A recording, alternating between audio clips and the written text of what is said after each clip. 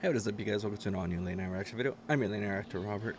Now, most most of you newcomers don't know, but I am a above knee amputee, um, and uh, I have been setting you guys on a journey uh, to explain everything that has been going on, whether it be why I am an above knee amputee, which was because of cancer.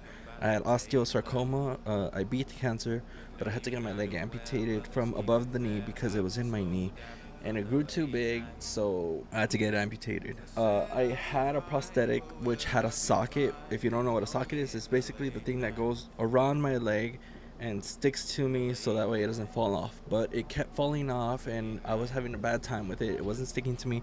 We tried two different type of socket styles, and it still didn't work. Uh, so we went into this new thing which um, is called uh, osseointegration, which is basically where they had put a uh, this might get a little graphic, so if you're squeamish, don't look. basically, what they did, basically what they did was they put a screw inside of my knee, and um, so that way I no longer have to wear a socket, and I just need to put the thing on here, and that's it. So I wanted to show you guys uh, what I am doing right now. Right now, I am on the next step I had it's a two it was a two step surgery. Basically, they put the first thing in, and then um, it needed to heal up, and the bone needed to attach to it, which it already did. Then three months after that, um, two months actually, two months after that, I had to uh, get the outside part of the screw, which you see right here. The the, the circle part comes off, but um, that part um, is just shielded by what they call a donut and so this part comes off and there's a screw that sticks out of my leg. Uh, after that what i have to do now what i have to do now is put this put this on with this stand on a chair and put about 40 pounds on me or put 40 pounds of pressure on here for the first week. Next week it's going to be about 60 pounds or somewhere around there. And uh, i just wanted to show you guys how it looks uh, putting it on and how it is. Uh, osseointegration is a brand new procedure.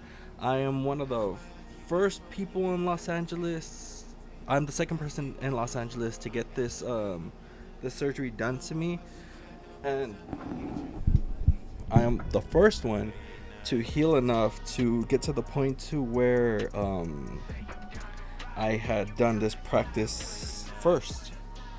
Uh, hold on. So basically I put that part right there with this little part. Then I had to find where it is attached properly and uh, push it through. Hold on a second. Nope, not there. Hold on. It takes a while to find it. There we go. Alright. So now it's like that. And then now what I have to do is just basically screw it on. And that's about it. I basically kind of like use a skateboarding tool.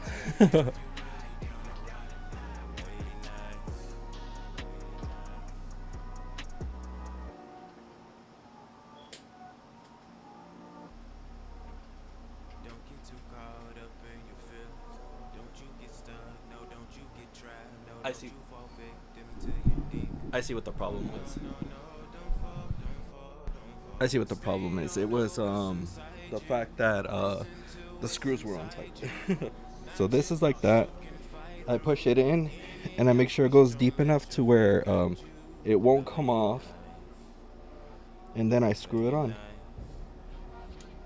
But I have to go back and forth because if I just um do one at a time, then it can um buckle up and uh, just come off easier. So now that this, so now that this is done, uh, now that it's screwed on properly, I just pull on it to make sure that it doesn't, um, it can't come off, and that's about it.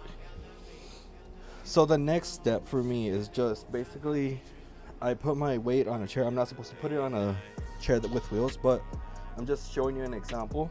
I just stand up, or I'll probably put a picture of it, but um, I just stand up.